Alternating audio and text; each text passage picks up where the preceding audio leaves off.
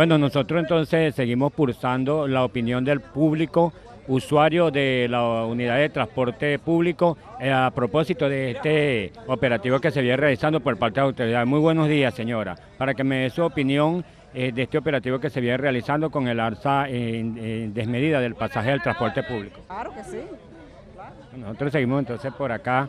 Este, Usted, señora, muy buenos días. Para que me dé su opinión de este operativo que se viene realizando a propósito del, incremento del pasaje fuera del eh, decreto del alcalde de este municipio.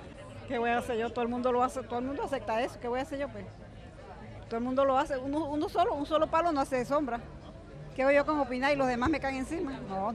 Bueno, nosotros seguimos entonces este, con, llevando ustedes todo lo, que está sucediendo acá a propósito de este operativo que vienen realizando los organismos policiales en cumplimiento del decreto del ciudadano alcalde del municipio PAE. Las cámaras de Iguaya TV llevando ustedes toda la incidencia de este gran operativo en esta mañana en el casco.